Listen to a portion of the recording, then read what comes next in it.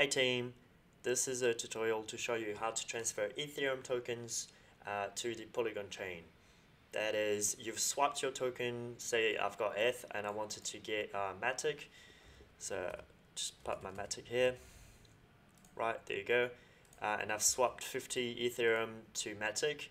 Um, so here we go, I got 9,000, 90,000, that's a lot and then I got it to my wallet, did my swapping, and now I've got my Matic. How do I know I've got my Matic? I can go on MetaMask or any wallet I have, um, and then go Asset List, and you'll see your Matic here. If you don't see Matic, just click Add Token, search for Matic, and you, you've got it right there, and then click Next.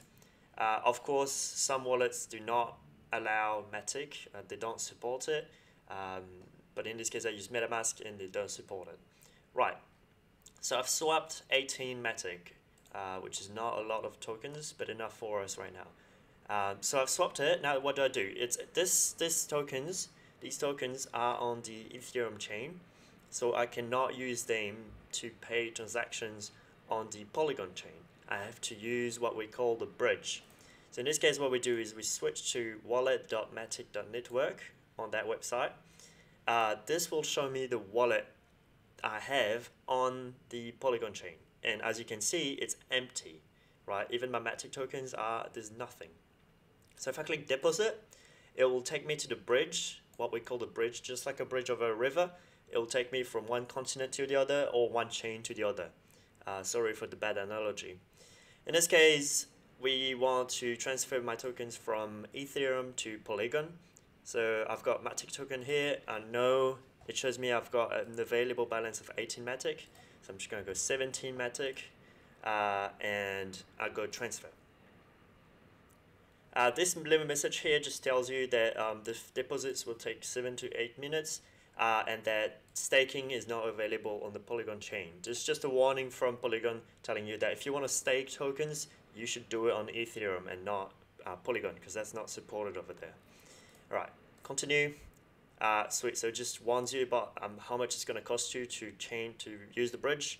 Okay, right, 17 Matic, all of that, transfer, transfer, plasma bridge, and then continue.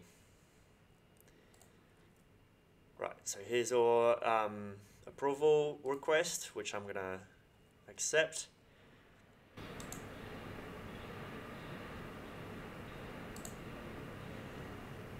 There we go. So um, it detected that um, the, the transaction was approved and mined. So now we actually have to confirm the deposit and pay the transaction fee.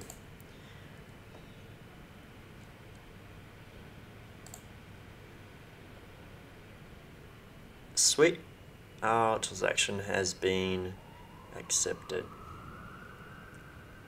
Sweet. So now the transaction is completed. We just have to wait for our Matic to show up on Polygon. So it says it will take 7 to 8 minutes for the deposit to be completed. Um, and that's it.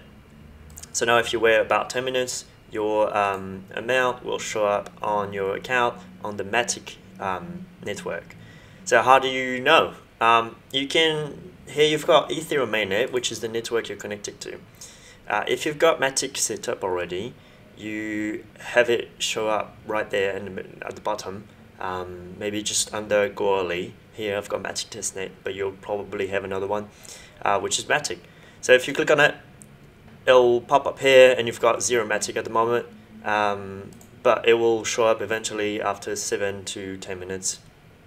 Um, and there you go, and then you can spend your Matic on any transaction you want. Sweet, have fun.